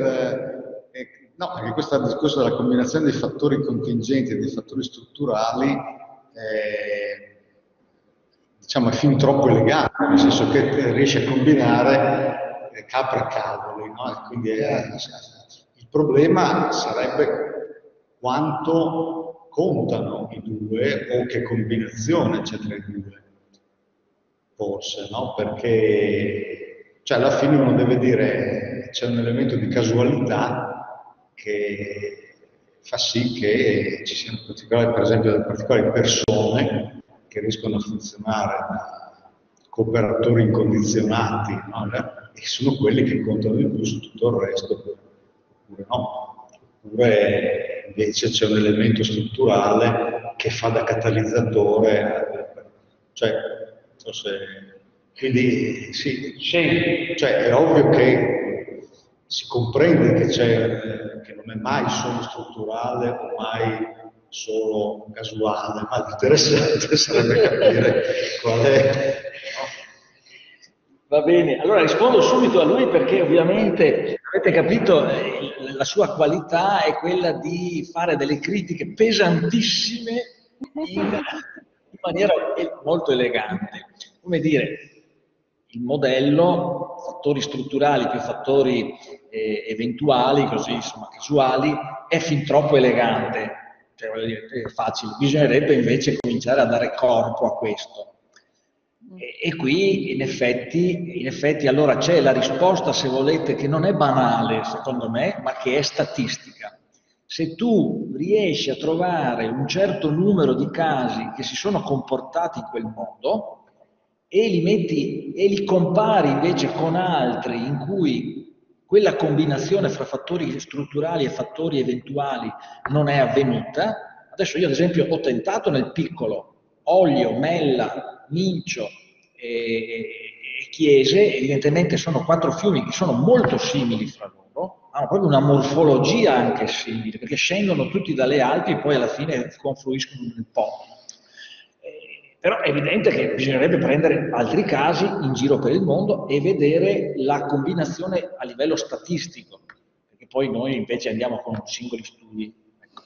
Quindi, eh, e poi avete capito, dopo se andiamo nel dettaglio la cosa diventa complicatissima perché la, la, la legionella la legionella è legata, ad esempio, la causa che hanno individuato puntuale è l'inquinamento prodotto da dei, uh, da dei frigli di, di, grosse industrie, perché se avete presente il bresciano come è fatto, è praticamente tutta un'industria, insomma, quindi c'è un fattore strutturale pesantissimo.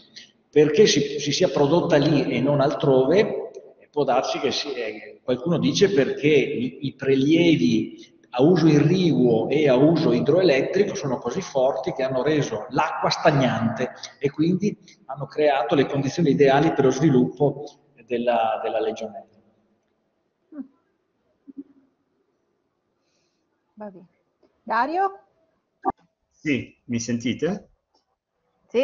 Eh, ok, allora, eh, dunque io ascoltando Giorgio sono tornato indietro di parecchi anni perché ho pensato al vento che ho studiato quando tanti anni fa ho fatto una ricerca sulla installazione di un inceneritore eh, in Basilicata e, ehm, e torno a un vec- una mia vecchia ossessione, cioè capire cosa fanno questi fiumi o venti come attori dentro i nostri scenari.